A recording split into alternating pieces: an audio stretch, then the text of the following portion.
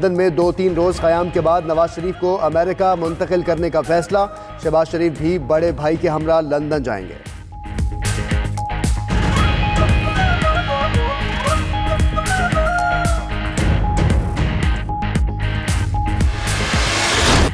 Deal ہوئی ہے اور نہ ہی ڈیل۔ عدالت نے دونوں پارٹیز کی عزت کو بحال رکھا ہے۔ شیخ رشید کہتے ہیں، عمران خان کی جان بھی عزت و آبرو کے ساتھ چھوٹ گئی۔ سٹاک ایکسچینج کی طرح نواز شریف کے پلیٹلیٹس اوپر نیچے جا رہے تھے۔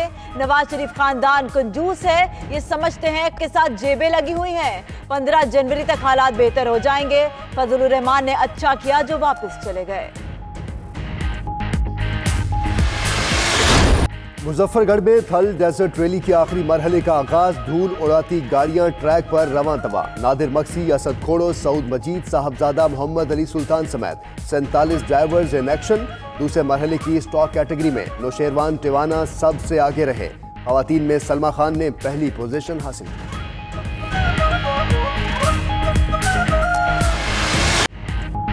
A T P tennis tournament Switzerland کے راجر فیڈرر کو سیمی فائنل میں اپ سیٹ شکست کا سامنا۔ راجر فیڈرر کو یونان کے سٹیفنوس نے سٹریٹ سیٹس میں شکست دی، دوسرے سیمی فائنل میں آسٹریلیا کے۔ ڈومینک تھیم نے جرمنی کے الیگزینڈر کو ہرا دیا۔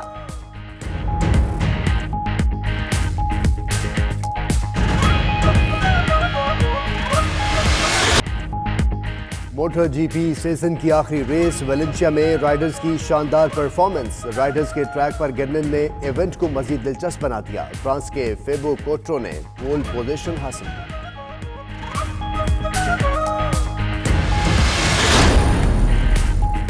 امریکی شہر نیو یارک کے چڑیا گھر میں سرخ پانڈا کے دو بچوں کی رونمائی.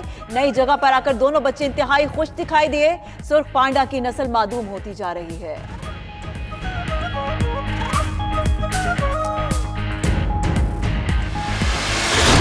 دنیا میں کوئی چیز ناکارہ نہیں، ڈائنوسور کے اس ماڈل کو ہی دیکھ لیں۔ مونگ پھلی کے چھلکوں کی مدد سے تیار فن پارا سب کی توجہ کا مرکز بن گیا۔ ڈائنوسور کے ماڈل کو چین کے دو آرٹسٹ نے تیار کیا ہے۔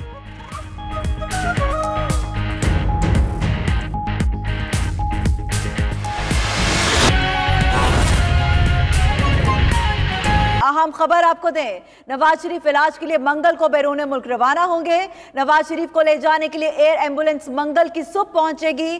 ترجمان مسلم لیگ نون مریم اورنگزیب کا ٹویٹ۔ لکھا کہ ڈاکٹرز نے نواز شریف کا آج تو پھر تفصیلی معائنہ کیا ہے۔ کہا کہ پلیٹلیٹس برقرار رکھنے کے لیے سٹیرائڈز کی ہائی ڈوز دی جا رہی ہے۔ نواز شریف کی دیگر امراض کے لیے بھی ادویات دی جا رہی ہیں۔ نواز شریف کو سفر کے قابل بنانے کے لیے ڈاکٹرز نے آپس میں صلاح مشورہ کیا ہے۔ آپ کو بتائیں کہ نواز شریف اڑتالیس گھنٹوں اہم ہیں اور برطانیہ جائیں گے۔ نواز شریف علاج کے لیے منگل کو بیرون ملک روانہ ہوں گے۔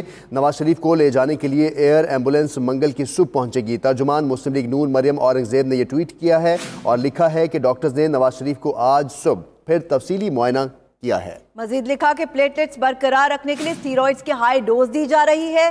نواز شریف کی دیگر امراض کے لیے بھی ادویات دی جا رہی ہیں۔ نواز شریف کو صبر کے قابل بنانے کے لیے ڈاکٹرز نے آپس میں صلاح مشورہ کیا ہے۔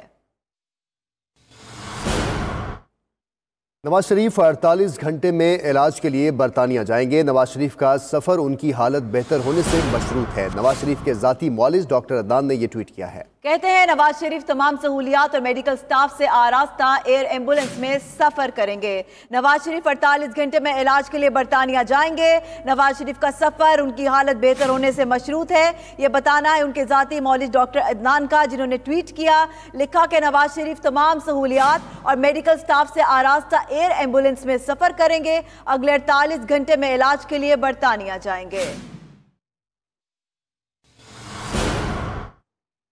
نواز شریف علاج کے لیے منگل کو بیرون ملک روانہ ہوں گے۔ ذرائع کے مطابق نواز شریف کو طویل ہوائی سفر کے لیے طبی طور پر چوبیس چوبیس گھنٹے درکار ہیں۔ نواز شریف کو ایئر ایمبولنس کے ذریعے لندن لے جایا جائے گا۔ شہباز شریف اور ذاتی معالج ڈاکٹر عدنان بھی ان کے ہمراہ جائیں گے۔ اسی پر بات کرتے سہیب شاہی جو ذاتی عمرہ میں موجود ہیں۔ سہیب شاہد آپ بتائیے گا، ڈاکٹر نواز شریف کی طبیعت کے بارے میں کیا کہتے ہیں؟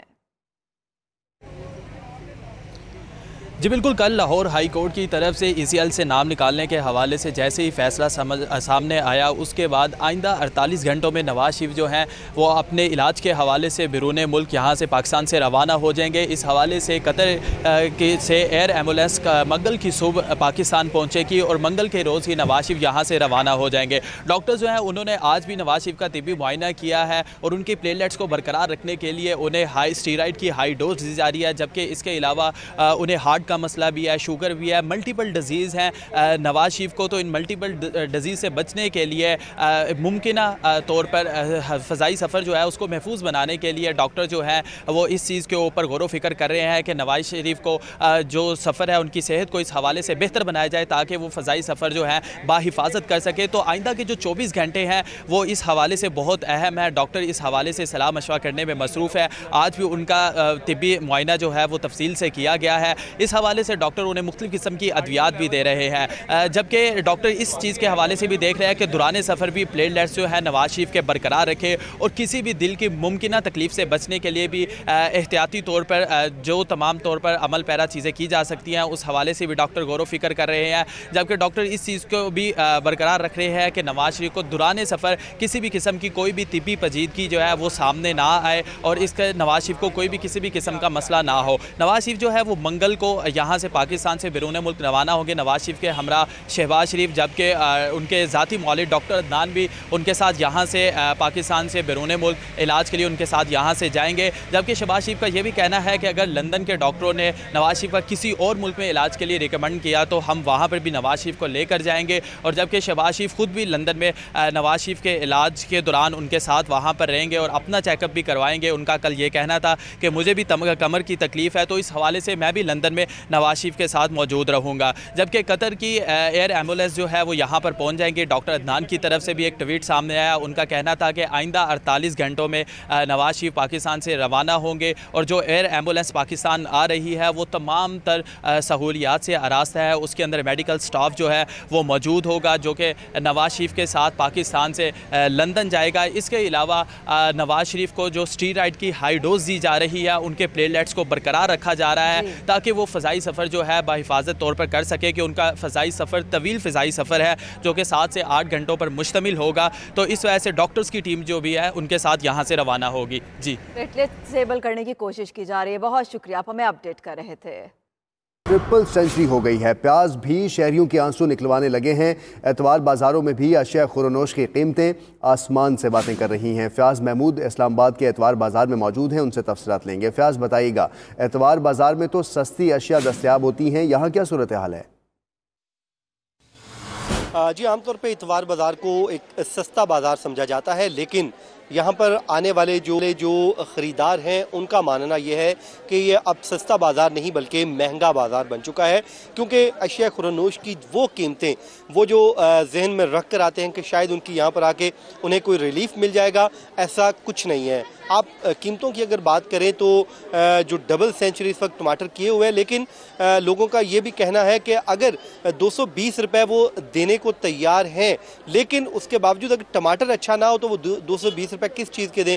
کیونکہ جو ٹماٹر ہے وہ ریڈ کلر کا نہیں بلکہ یلو کلر کا ہے۔ تو میں نے دکانداروں سے پوچھا کہ اس کی کیا وجہ ہے؟ تو انہوں نے کہا کیونکہ اس وقت یہ مہنگائی کا طوفان ہے اور ٹماٹر کی قیمتیں بہت زیادہ ہیں، تو کسانوں نے سوچا کہ بہتی گنگا میں ہاتھ دھو لیا جائے اور انہوں نے فوری طور پہ اپنا جو کچا ٹماٹر ہی مارکیٹ میں پھینک دیا تو جس کے بعد لیکن اس کے باوجود جو قیمتیں ہیں وہ کم نہ ہو سکیں تو اس کے ساتھ جو پیاز ہے وہ لوگوں کے آنسو نکال رہا ہے۔ چار سو چھتیس روپے کی دھڑی یہاں پر اسلام آباد کے اتوار بازار میں فروخت ہو رہی ہے۔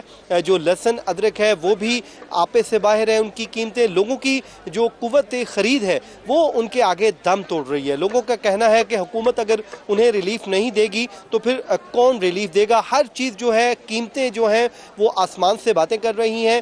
جو مٹر ہے وہ چھیاسی روپے کلو تک جہاں پہنچا ہے۔ اسی طرح آلو کی جو قیمتیں ہیں وہ بھی بہت زیادہ ہے اڑھائی سو روپے سے زائد وہ دھڑی فروخت ہو رہی ہے۔ تو لوگ پریشان ان کا کہنا ہے کہ حکومت کو اس کی چیزوں کو کنٹرول کرنا چاہیے۔ جی۔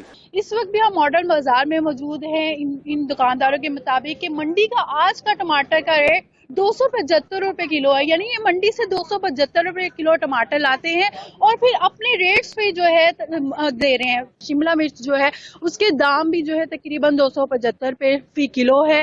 گوبھی ہے وہ بھی پچاس ساٹھ سے اوپر ہے۔ یعنی یہاں پہ ہماری خریداروں سے بات ہوئی ہے، خواتین سے بات ہوئی ہے، تو ان کا یہ کہنا تھا کہ بجٹ تو ان کا بری طرح متاثر ہو رہا ہے، ان کو یہ سمجھ نہیں آ رہی کہ کیا پکائیں، کیا کھائیں، کیونکہ سبزیاں ہی اتنی زیادہ مہنگی ہو گئی ہے۔